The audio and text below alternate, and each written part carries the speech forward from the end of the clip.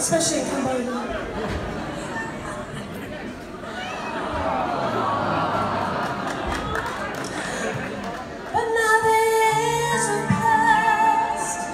With not a single